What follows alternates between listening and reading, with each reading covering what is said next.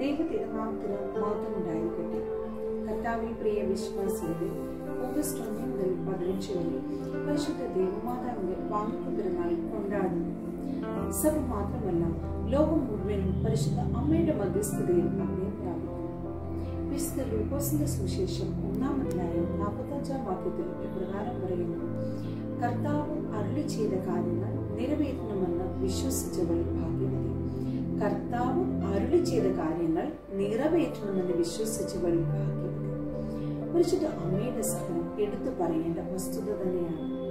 പഴയ നിയമഭാഗങ്ങളിൽ വിശ്വാസത്തിന്റെ പിതാവെന്ന് അബ്രഹാമിനെ വിശേഷിപ്പിക്കുന്നത് പുതിയ നിയമത്തിൽ പരിശുദ്ധ അമ്മയിലൂന്നിയ വിശ്വാസം അമ്മയിൽ പ്രതിഫലിക്കുന്നു. സഹനത്തിന്റെ സൗന്ദര്യമാണ് പരിശുദ്ധ ദൈവമാതാവ്. സ്വാമി വിവേകാനന്ദന്റെ വാക്കുകളിൽ ഇപ്രകാരം പറയുകയാണ്. പരിശുദ്ധ അമ്മ ചോദിച്ചത് മറ്റാരെയുമല്ല ദൈവത്തെയായിരുന്നു. ലോകം എത്രയേറെ ആരാധിക്കുകയെ ആരാധനയോടും പ്രാർത്ഥനയോടും മധ്യസ്ഥതയോടും പ്രാർത്ഥിക്കുന്നത് കാണുവാൻ എന്നും എവിടെയും സാധിക്കുകയില്ല.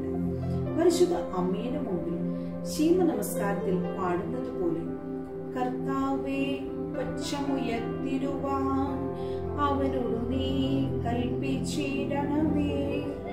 വന്നു വണങ്ങി തിരുവിതമാൻ സ്ഥൈര്യം ഞാൻ നൽകാം.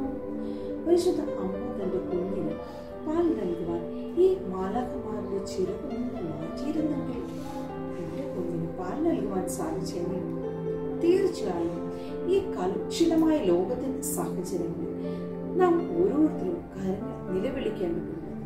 പരിശുദ്ധ അമ്മ മരുടെ മധ്യസ്ഥതയിൽ അഭയം പ്രാപിക്കുന്നു നമ്മുടെ വേദനകൾ കഷ്ടതകൾ നമ്മുടെ ദുഃഖങ്ങൾ ദുരിതങ്ങൾ പരിശുദ്ധ അമ്മയുടെ മുൻപിൽ അർപ്പിക്കുന്നു എപ്പോഴും അതിന് പരിഹാരമുണ്ട് എന്നതിൽ യാതൊരു സംശയവുമില്ല.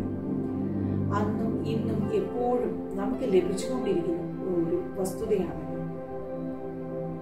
അതുകൊണ്ട് തന്നെ പരിശുദ്ധ അമ്മയുടെ മധ്യസ്ഥത നമുക്ക് എപ്പോഴും കാവലും കോട്ടയമായിരിക്കട്ടെ.